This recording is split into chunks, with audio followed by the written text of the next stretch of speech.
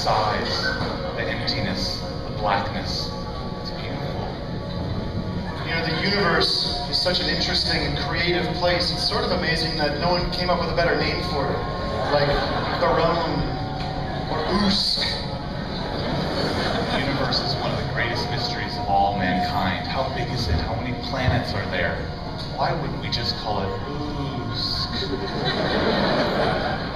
There's an area about 250 million light years from this club called the Dorvis Ridge. If you look there, if you, if you were able to get there by car, you would you wouldn't be able to get there by car. You'd be able to take a ship. If you got there, you'd see an amazing constellation, and that constellation would look like a strange man's beard.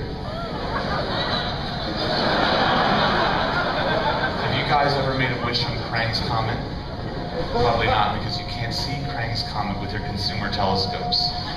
But I have a very powerful professional one, and I looked up into the sky, and I saw Krang's Comet, and I made a wish, and I wished that my wife, Melissa, would clean up her teeth, and get rid of all that dirt around her once and.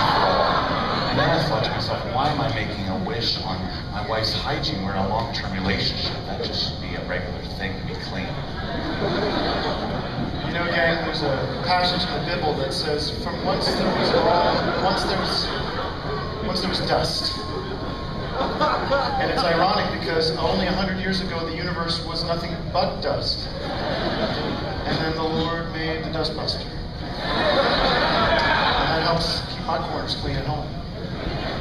One of my favorite things about the universe is the planet Duran.